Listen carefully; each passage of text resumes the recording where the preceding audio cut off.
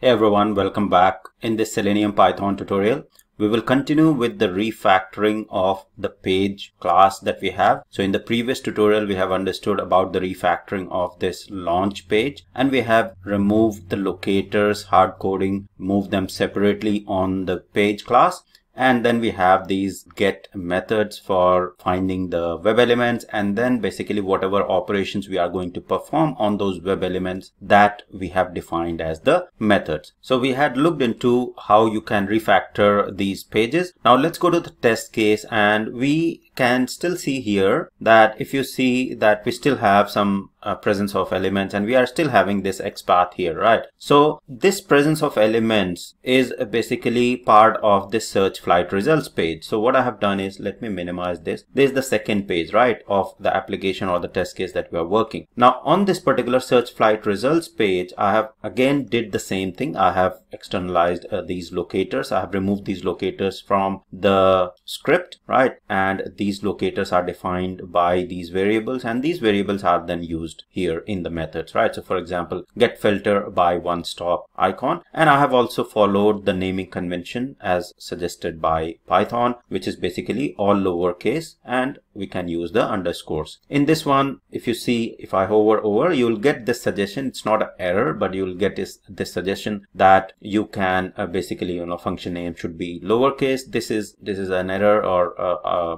you know warning sort of if you see here these are the weak warnings that you will see but function name should be lowercase so it's always better to follow the convention that is recommended by Python, right?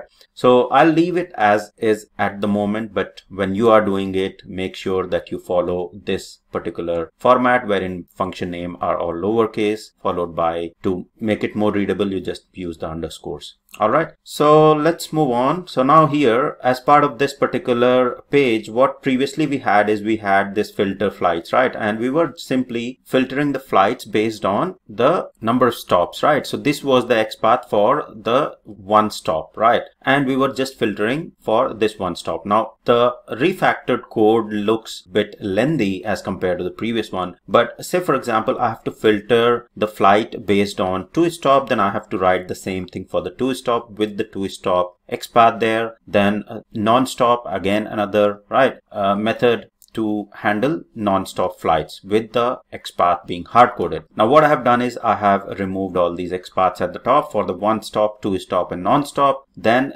defined the methods to get those web elements, right? To return those web elements by one stop, two stop and non-stop and just written one method which takes an argument stop. So if I'll pass one stop here, it will click on the one stop in the search flight. So here if I open yatra.com, so if I'll pass on one stop, it will click on one. It, if I'll stop, uh, if I'll pass two stop, it will click on two stop, uh, two here. If I'll pass non-stop, it will click on zero, right? So just one method will be able to handle any of these operations okay so that's the advantage of this particular method and it is very very simple if else if logic and if somebody doesn't provide any of the valid stops there is else condition which will print just please provide valid filter option right so now this is much better as compared to the previous one now here in the test search flight, we need to externalize this as well. This is basically checking for the presence of all elements when the flights are loaded, right? So all the flights, when all flights get loaded in the flight search page, so this page here,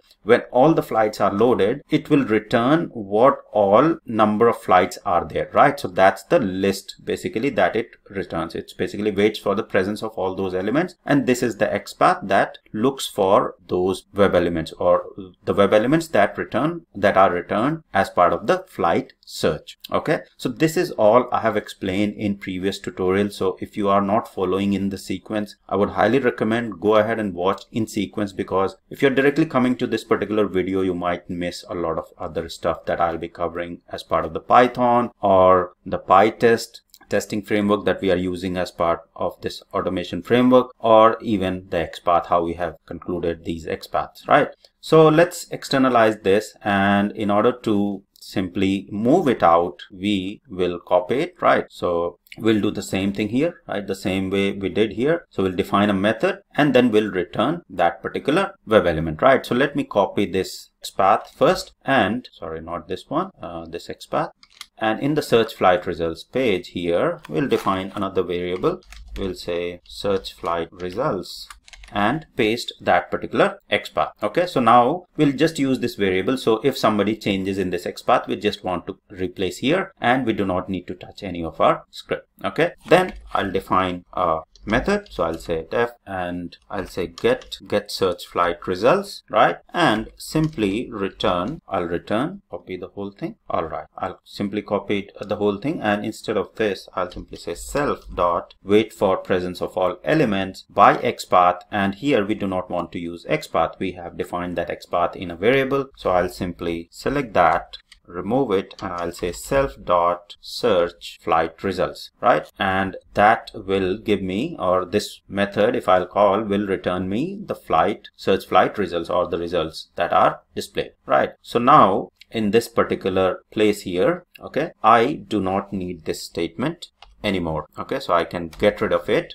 and now we can call that method that we have defined here right? So get search flight results. So i can simply say so this is part of this search flights right? So i can say search flights because we have created the object of this search flight. And i can say sf dot filter or get search flight results. This is the method that we have simply created right? So get search flight results. Okay. So now in this particular test case we have externalized that part which was the part of the search flight results results page right so similarly if there is another page which has the details which you are using here in the test case you have to keep externalizing them or keep moving them basically into the page classes not into the test classes. Okay? So that's the whole point of it. And this is the approach that we are following is we have written a test case in the raw format and then we have we are converting it into the framework. In the actual scenarios you will analyze your application. You will come up with all those, design decisions thought processes prior to implementing the test cases. So you will know how how you are going to implement the pages and you will start from the utils pages the base driver you will start something from here and then you will come to the test case so i'll cover these the approach that you will actually take in the later tutorials but this the way i'm explaining this is because to make you understand so that once you have the test case ready and you are going to refactor the test case, it, it makes more easy for you to understand why we are going to create framework and what advantages it will go, it's going to bring. All right. So now you'll see that all stops is now holding the search flight results and nothing as such in terms of XPath or anything is hard coded in this particular file, right? And now this particular file is also ready. I can simply remove these old details from here right? And this page is ready with locator separate. Yatra launch page is ready with locator separate, right? And all the methods are being defined the bottom, right? For this particular page. If tomorrow you have to find another locator on this particular page and you want to interact with another locator, then you simply define that locator here, define a method and the operation that you are going to perform on that particular web element as a method again and use it in your test case as we have done here. All right. So now simply let's go ahead and run this particular test and see that it runs as expected as it was running before. So I'll simply say pytest hyphen v hyphen s and should perform exactly the same way as it used to work previously. So it's selecting the details, selected the date, search flights, scroll the page. It has scrolled to the end of the page. Now it should select the filter it has selected filtered by one stop and then it has started the assertion right? So it has failed at the assertion and it has failed at the assertion level right? So you can see that fail the text is one stop but it it failed to verify that all the details in the one stop are here you can see that it's assertion error. So utils.py and you will see that it failed here right? So whatever value we are passing here as part of the test case we are verifying that all stops that we are passing here those that list of stops should contain one stop right? So we'll fix that later. But as of now with this particular refactoring our test case is working exactly the same way as it used to work before All right. So to reiterate what we have learned, we have learned to refactor the page classes and make them more maintainable. We have done the launch page. Similarly, we have done this particular flight results page, right? Which is the next page on this particular Yatra website. This is the page, the second page. The first one is the page where we provide the depart from going to departure date and click on search flights. And once we click on search flights, the second page is what we have just refactored, right? So after refactoring these pages, we need to understand how we can link these pages together so that we do not need to create these objects, right? So here what we are doing is we are creating an object of the launch page, then calling the methods that are defined in the launch page class. Then we are creating an object of the search flight results page and calling the methods within that particular class. Then we are calling, we are creating an object of the utils and calling the methods. So is there a better approach to do this in our test case, right? And if tomorrow I have to write another test case how we can handle those test case within this particular test class. So all that we are going to learn in upcoming tutorial. So that's all for this particular tutorial. I hope it was helpful. Thank you very much for watching